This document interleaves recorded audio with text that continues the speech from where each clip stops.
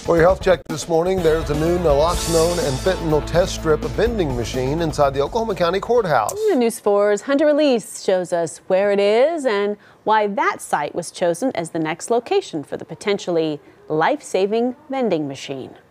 Inside the Oklahoma County Courthouse, on the first floor by the other vending machines, is this a new naloxone and fentanyl test strip machine. This is actually one of the most populated area zip codes that has had so many attacks. Oklahoma City police saying in September they had 13 incidents where 20 doses of Narcan were used. So I think by the nature of what goes on at the courthouse, there's a lot of people that are facing several crises in their family and they may be turning to substance abuse. And so if we know that this is here, they might could at least get here and get to it if need be. Commissioner Maughan's office worked to get the machine up and running. We pursued to see if we could get one, and we approved it by the Board of County Commissioners so that we could have it here available to the public. And on October 6th, it was officially open for the public. It's completely free to use and only requires submitting a zip code on the touchscreen pad. If it just saves one life, this will be worth having done. In Oklahoma City, Hunter Elise, Oklahoma's News 4.